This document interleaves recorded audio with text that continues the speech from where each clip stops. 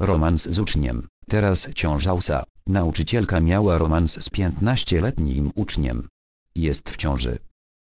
41-letnia nauczycielka z Florydy wdała się w romans ze swoim 15-letnim uczniem. Kobieta została aresztowana przez policję. Wkrótce okazało się, że jest w ciąży. Według amerykańskich mediów ojcem dziecka może być nastolatek. Romans między nauczycielką a uczniem rozpoczął się w ubiegłym roku, gdy Heiry Calvi zaczęła udzielać 15-latkowi korepetycji.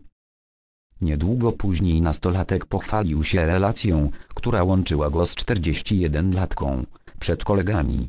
Pokazał im między innymi filmy, na których para uprawiała seks oraz nagie zdjęcia nauczycielki, które wysyłała mu za pośrednictwem mediów społecznościowych. Nauczycielka w ciąży uczniowie poinformowali o sprawie władze szkoły, a te zawiadomiły policję, która wszczęła śledztwo. W ubiegły czwartek kobieta została aresztowana. Podczas przesłuchania okazało się, że jest w ciąży.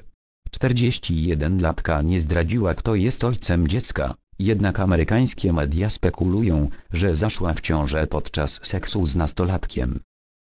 Nauczycielka została oskarżona o wykorzystywanie seksualne nieletniego.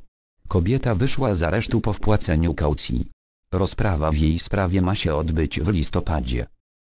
Według policji nastolatek nie uważa, że padł ofiarą wykorzystywania.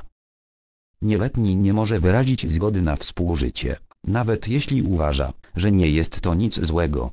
Odpowiedzialność spoczywa na osobie dorosłej, oświadczył Ray Valdez, rzecznik policji w Doral na Florydzie.